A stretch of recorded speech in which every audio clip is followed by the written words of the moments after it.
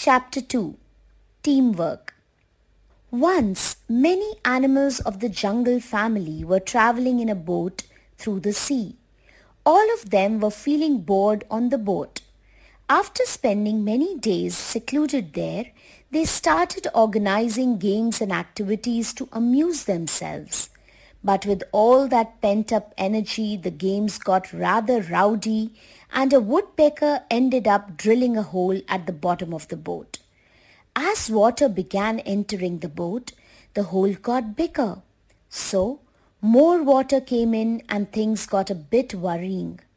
One by one, different animals tried to fix the hole. They even got competitive about it because Everyone wanted to be the animal that had saved the boat. The beaver built a dam over the hole, but not even that worked. Everyone was scared and worried that the boat would sink. That was until the bee started talking. The bee explained to everyone how they always worked together as a team, each one doing the task they were best at. On hearing this, all the animals set about working together, each one playing their part by contributing their own special talent.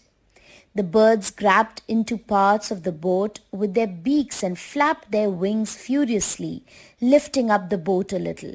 The elephants sucked up water in their trunks and shot it back into the sea. Cheetah, the fastest animal, ran here and there collecting materials. Those good at making nests took that material and stuffed it quickly into the hole. And so working together, the animals managed to reduce the amount of water coming into the boat. But they still had not stopped it completely.